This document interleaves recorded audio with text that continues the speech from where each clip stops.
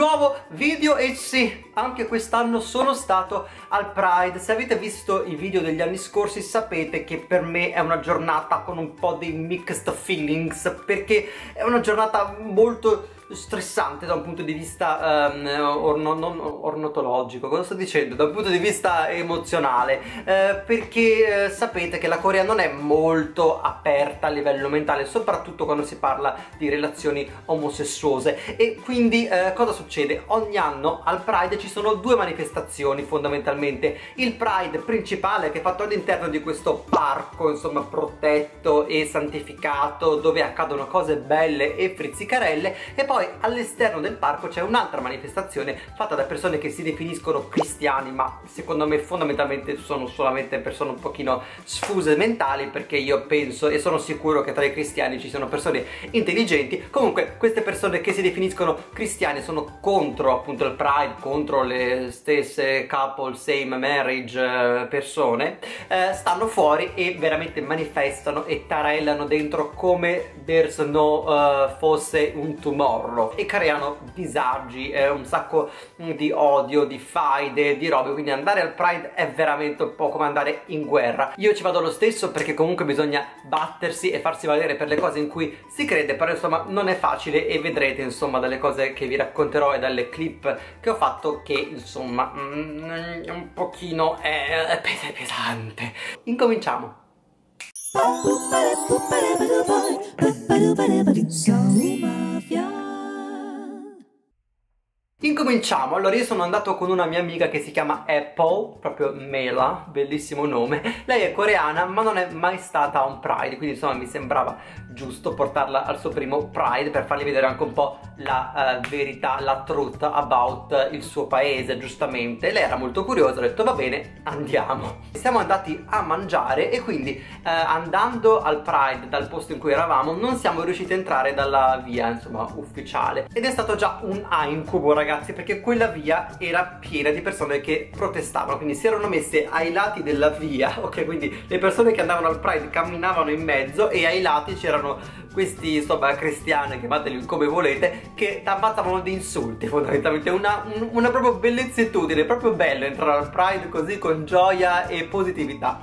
Quindi niente siamo entrati tra l'altro c'era la sigla di Star Wars tipo po po po po po po po che dava proprio un, un feeling ancora più credibile a quello che stava accadendo perché in effetti ti sentivi come se stessi andando in, in guerra in quel momento. Incominciamo benissimo questo cartello che dice l'omosessualità è un peccato, torna da Gesù Cristo, va bene. Per entrare al Pride dovete passare da questo corridoio pieno di persone che sono contro il Pride, ma che cazzo...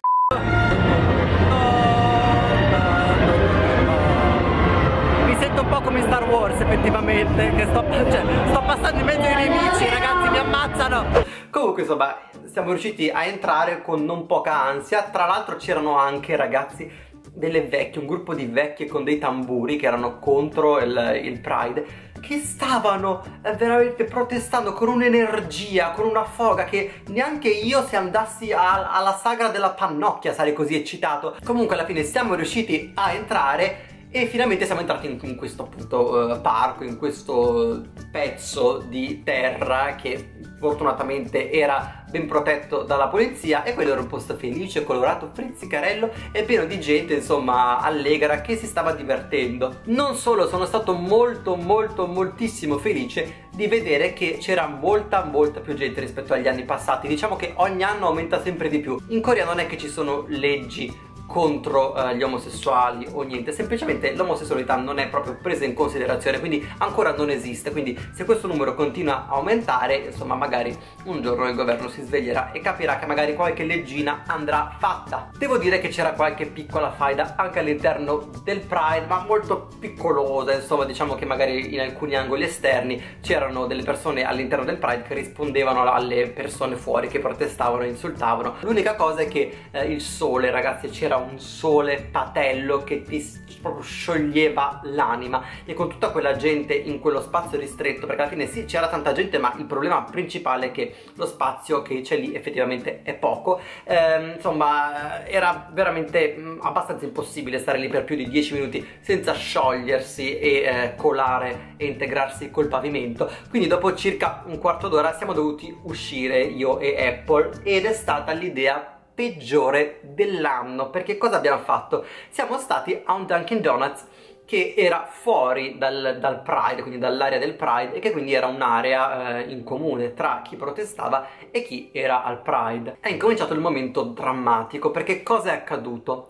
Praticamente il Dunkin' Donuts era diviso in due, c'era un'area un pochino più interna dove c'erano appunto la gente che protestava contro il Pride, che era quindi against il Pride, e dall'altra parte c'erano le persone che erano venute al Pride, insomma. Si incominciano a sentire delle urla, urla molto forti, molto cattive. Una persona che era appunto contro il Pride, una, una aggiumma, come si chiamano le aggiumme in italiano? Aggiumma vuol dire signora, ecco, una signora anziana ha preso a sberle questo povero eh, ragazzino e l'ha ammazzato di insulti. Questo ragazzino, essendo che in Corea non puoi rispondere alle persone anziane, eh, insomma probabilmente si è sentito umiliato perché insomma essere picchiato davanti alla gente eh, immagino che sia stato abbastanza un trauma per lui e quindi poverino poi è scappato piangendo. Questa cosa ovviamente ha scatenato eh, la rabbia di altra gente, quindi poi insomma urle catastrofiche, cose. C'era gente a un certo punto che si tirava l'acqua e insulti vari, cioè veramente un bordello mai visto. Magari riesco a farvi vedere delle immagini. Qui c'è una signora che sta ammazzando di insulti un ragazzino che poverino si è messo a piangere e tutti stanno filmando un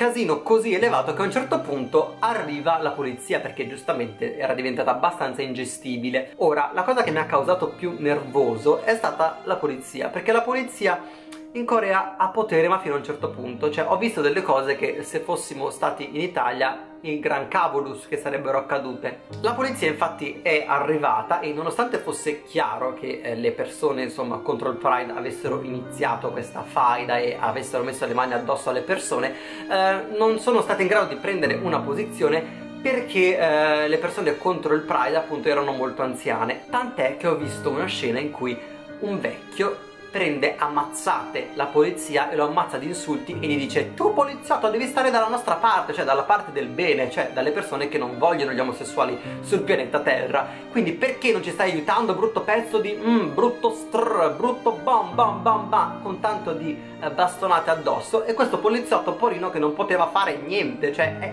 io assurdo, cioè vi immaginate se in Italia una persona ammazza di insulto un poliziotto, lo prende a bastonate, cioè va in prigione immediatamente. Qua invece si può fare così. Gli altri anni eh, i cristiani o comunque queste persone contro il Pride riuscivano quasi sempre a fermare la parata perché poi insomma dopo l'evento principale eh, che era fatto in questo parco con i concerti poi a un certo punto partiva anche la, la, parata vera e propria e quasi ogni anno i cristiani riuscivano a bloccarla cioè a buttarsi dentro e a bloccarla lì Quest'anno eh, ho visto, perché io non ho visto effettivamente coi miei occhi perché ero abbastanza dietro nella parata, ma poi ho controllato le news e ho visto che eh, la polizia questa volta è riuscita a prendere, proprio, proprio prendere i cristiani e insomma quelle persone lì, ragazzi non so come chiamarli, e buttarli fuori, quindi quest'anno pare che sia andata un pochino meglio. Come ho detto sono andato a controllare le news e ho visto alcune foto. Allora, prima di tutto vorrei analizzare con voi le foto più importanti, tra cui questa ragazzi che, scusate, è un po' off topic, ma cioè se mi conoscete sapete che non potevo non farvela vedere, cioè Sailor Moon sempre onnipresente, onnipresente, onnipresente.